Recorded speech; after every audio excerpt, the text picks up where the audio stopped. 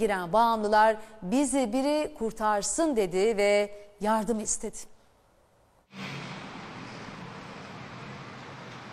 Var. Ama bu maddeden kurtulmak zor yani. Bizi bu kurtarsın ya devlet bence. Bir yardım etsin bize hani. Devlet bizi kurtarsın. Her geçen gün sayıları artan, İstanbul'un göbeğinde yerlerde yatan bağımlıların ortak isteği bu. Üst geçitlerde, parklarda, yollarda onları konuşamaz, yürüyemez, gözlerinin önünü göremez hale getiren ve sonunda da öldüren zehrin parasını bulmak için bazen dileniyor, bazen çalıyorlar. Peki parayı nereden buluyorsun? Ya parayı nereden buluyorsun? 1 milyon 1 milyon sinyal yaparak da alabilirsin ya 2 milyona 3 milyona. Yerde yatan insanlar görüyoruz, kendini kaybetmiş insanlar görüyoruz. Hani gerçekten çok fazla güvenceli değil. Burası Mecidiyeköy'de bulunan dev alışveriş merkezinin hemen yanındaki yeşil alan madde bağımlıları burada da duruyor. İşte onlardan bir tanesi. Uyuşturucu kullanıyorum ben. Yaşın Bon- kaç? Yaşım 32. Ne zamandır kullanıyorsun? Bir senede da içiyorum. Milyona bile alabiliyorsun. Evet. Her yerde satılabiliyor yani. Üzülüyoruz açıkçası. Kendi çocuklarımız var yani. Bu durumda olmalarını istemem kesinlikle. Burada her sokakta uyuşturucu bağımlısını görebiliyoruz. Onlardan biri de burada. Az önce yerdeydi, şimdi kalktı. Kaç para bir paketi? Bir paket lira. Adamlar nasıl bir şey yapmışsa çok sakal bir şey aratıyor, istetiyor. Uyuşturucu illetinin esiri olan gençler, kadın erkek, yaşlı çocuk, tüm kent sakinlerinin yoğun olarak kullandıkları yollarda karşımıza çıktı.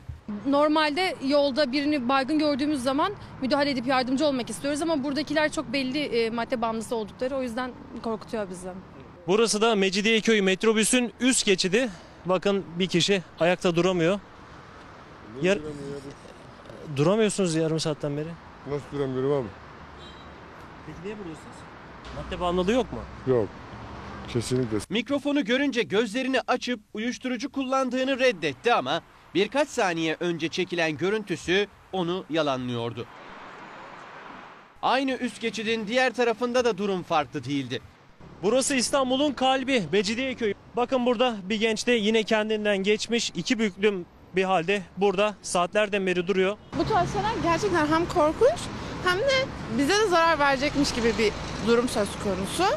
Tedirgin oluyoruz. O genç gözden kayboldu. Arkasında bıraktığı montun yanındaysa onu bu hale getiren zehir vardı. Az önce burada baygın halde duran genç kaçtı, konuşmadı. Onun montu burada kaldı. İçinden neler çıkacak bakalım. Bonzai, bonzai. Bu şu an günümüzün e, en ucuz ve en tehlikeli zehiri. Neye benziyor? Kekiğe benziyor. Uyuşturucu bağımlısı gençler düştükleri bataklıktan kurtulmak için bir yardım eli bekliyor. Sen kullanıyorsun değil mi? Bak, Evet. ne kadar bir paketi kaç alıyorsun?